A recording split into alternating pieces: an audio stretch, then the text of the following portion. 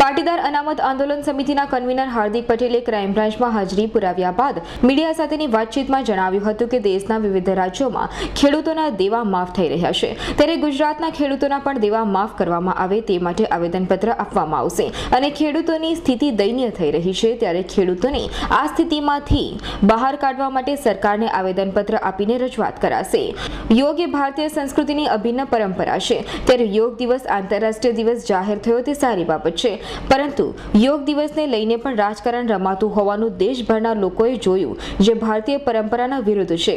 કમસે કમ યોગને તો રાજકારણથી દૂર રાખીને દુનિયાભરમાં ભારતીય સંસ્કૃતિના દર્શન કરાવી શકાય તેમ હોવાનું હાર્દિકે વધુમાં જણાવ્યું હતું. ગુજરાતની અંદર આજથી લગભગ ત્રેવીસ તાલુકાઓની અંદર ખેડૂતોનું દેવું માફ થાય એના માટેનું આવેદનપત્ર આપવાનું આજથી શરૂઆત થઈ છે.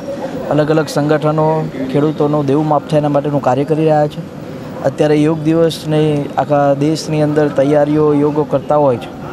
તો મારા ખ્યાલ મુજબ ક્યાંક ને ક્યાંક યોગાસન અને ઇન્ટરનેશનલ યોગ ડેને રાજકારણ સાથે જોડવાનો પ્રયાસ કરવામાં આવે છે.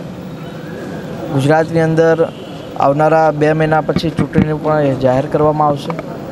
તો ક્યાંક ને ક્યાંક આ આંદોલનની અસર ચૂંટણી સમયે ખેડૂતોની અસર, દલિત સમાજને પર જે આંદોલનથી ઉનાકાંડ મુદ્દે મહિલાઓની સુરક્ષા યુવાની બેરોજગારી એ તમામ મુદ્દે સરકાર સામે લડવાનો તમામ પ્રકારે આયોજન ચાલી રહ્યું છે અને તમામ લોકો આ મુદ્દે સાથે છે.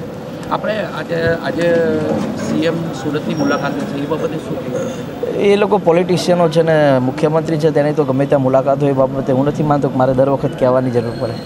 હાઈકોર્ટના આદેશ મુજબ સુરત ક્રાઇમ બ્રાન્ચમાં હાજરી પુરાવા આવેલ હાર્દિક પટેલ સાથે પાટીદાર યુવાનો પણ ઉપસ્થિત રહ્યા હતા. Bureau report Surat.